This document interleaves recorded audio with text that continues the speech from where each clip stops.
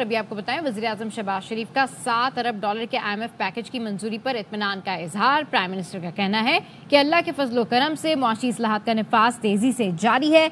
मुआशी इसकाम के बाद मुआशी तरक्की के अहदाफ के लिए बेनत जारी रखेंगे। कारोबारी सरगर्मियों सरमाकारी में इजाफा खुश आइंद है। जी, मेरी, मैंने आईएमएफ के हवाले से अभी थोड़ी देर पहले बात की थी मीडिया से कि अल्लाह ताला का शुक्र है कि आईएमएफ का प्रोग्राम आज मंजूर हो गया है पाकिस्तान के लिए।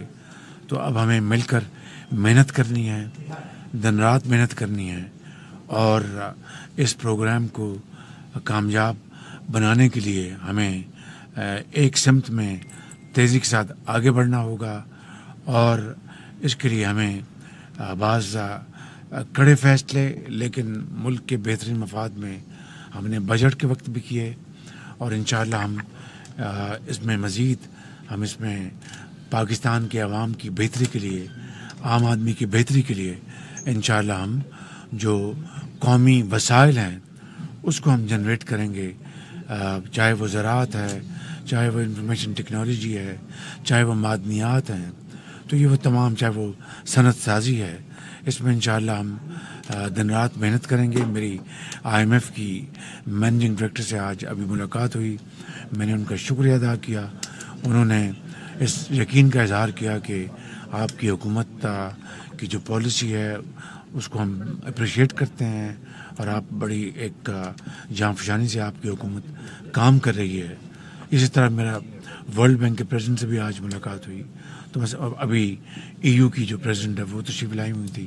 तो आज काफ़ी मसरूफ दिन गुजरा। बांग्लादेश के चीफ एडवाइजर से आपकी मुलाकात कैसी रही? बड़े अरसे के बाद पाकिस्तान के साथ उनके जी बांग्लादेश के चीफ एडवाइजर से बड़ी मस्बत मुलाकात आज हुई थी। रात को उनके जो एक प्रोग्राम था उस पर भी मैंने शिरकत की थी। और बहुत एक मस्बत माहौल में हमारी बात हुई।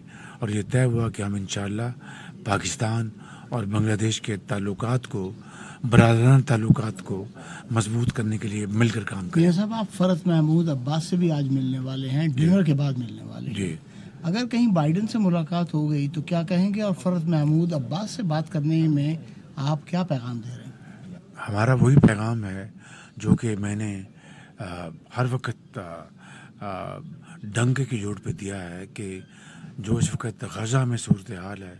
ये तारीख की बदतरीन ये वहाँ पर कत्ल गारत की जा रही है। चालीस हज़ार से ज़्यादा फ़लस्तनी शहीद हो गए हैं। हज़ारों बच्चे हैं, माएँ हैं, नौजवान हैं। शहरों के शहर ढेर कर दिए गए हैं। इससे ज़्यादा बरबरीत और जुल्म की और क्या मिसाल हो सकती है?